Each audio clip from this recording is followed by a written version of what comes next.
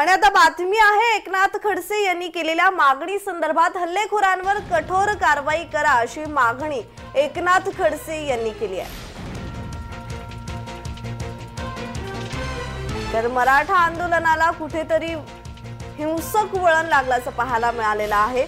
मराठा आरक्षणासाठी मराठ्यांनी आंदोलन केलं मोर्चे काढले त्याला हिंसक वळण लागलेलं पाहायला मिळालेलं आहे. बस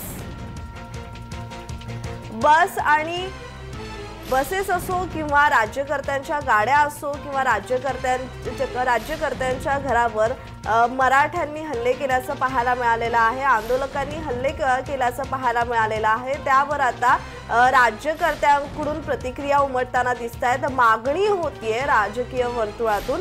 एकनाथ खडसे यांनी मागणी केलेली आहे. हल्लेखोरांवर कठोर कारवाई करा अशी मागणी करण्यात येते.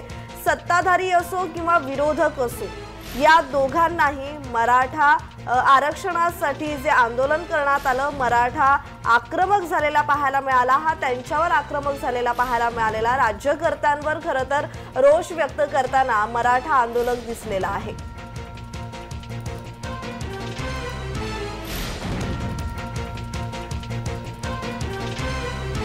जे अशांतता पसरवतात जे अशी जाळपोळ करून गाड्या जाळणं हे वगैरे नुकसान करतात त्यांना जात आणि धर्म नसतो.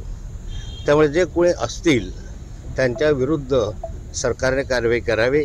कायदा सुव्यवस्था बिघडवण्याचा प्रयत्न होत असेल तर कठोर कारवाई करणं हे सरकारचं आद्य कर्तव्य आहे.